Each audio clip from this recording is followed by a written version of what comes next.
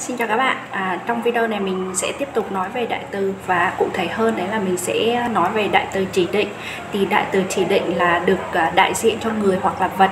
Cụ thể được dựa vào cái khoảng cách giữa họ đến vật hoặc là người được nhắc đến trong câu.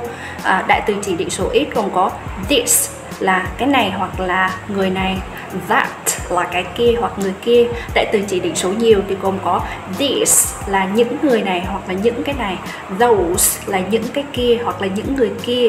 Thì vị trí của đại từ chỉ định thì nó có thể đứng vị trí của chủ ngữ này hoặc là ở vị trí của tân ngữ hoặc là nó sẽ đứng sau giới từ. Mình lấy ví dụ về à, vị trí là à, đại từ chỉ định làm chủ ngữ nhé ví dụ như, this is my pen.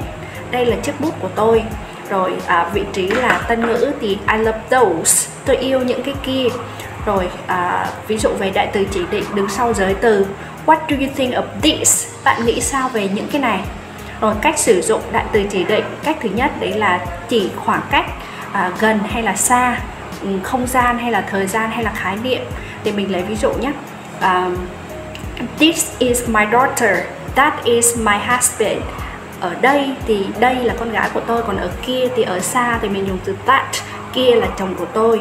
Rồi cách sử dụng số 2 đấy là từ uh, this và từ this và từ uh, this. Nó sẽ biểu đạt những cái gì mà chúng ta sắp nói. Mình lấy ví dụ um, after I have listened to you carefully I'll tell you this. Sau khi lắng nghe bạn một cách cẩn thận thì mình sẽ nói uh, với bạn cái điều này. Rồi thứ hai đấy là à, um, that hoặc là those nó sẽ biểu đạt những cái gì mà bạn đã nhận ở trước đấy. Mình lấy ví dụ là I'm happy to know that you have an interest in music. Uh, that means we have one thing in common tôi rất là hạnh phúc khi mà biết được rằng là bạn cũng có hứng thú với âm nhạc và điều đấy có nghĩa là chúng ta có một cái điểm chung. Rồi cách sử dụng số 3 đấy là nó sẽ đi với cái danh từ chỉ thời gian. Mình lấy ví dụ uh, I have to go to Hồ Chí Minh City this morning.